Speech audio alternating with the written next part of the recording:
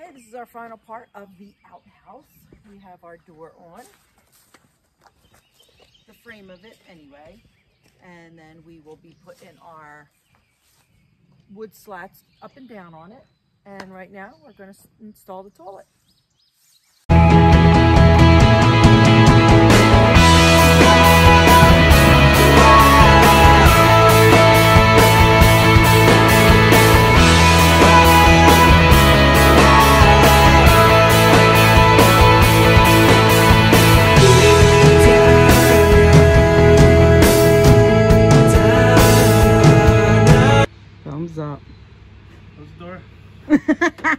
you need your privacy?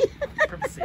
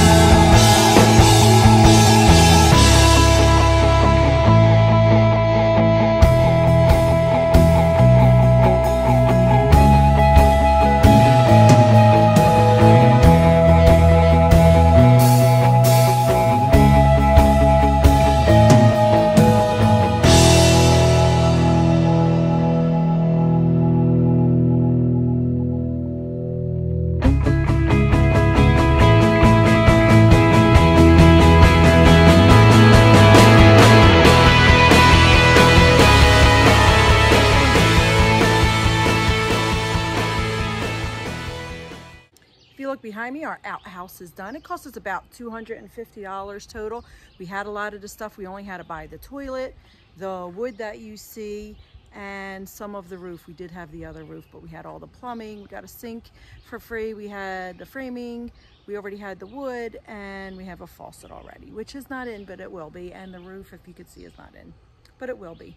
So this is our outhouse. We are going to add steps, but we do not have that yet. Oh. Oh, pardon me. I'm trying to show our outhouse. I was finished anyway. There you have it. We have a toilet. Oh, the door does not stay open, but let me bring you in. We have our little shelf with our toilet paper holder. There's the toilet. Now the water is not hooked up yet, but that is because we do not have water here yet. We will be getting it soon. We use that bucket to kind of put water in the tank. But you could see it's just a cute little outhouse. Now, let me take you around to the side here where our sink is. So, I'm kind of far away. I don't know if you see it. So we have a little sink area. The faucet will be over here, and then I could put soap and hand sanitizer and stuff over there. We are gonna probably, I don't know if I wanna stain this, but I might do like a clear coat. But the roof will go right here and come straight out. So this way, if you're at the sink, it's not, as you can see, super, super duper sunny. But we put our little edges on. The vote was yay for edges. So we got the edges to finish it off and that's it.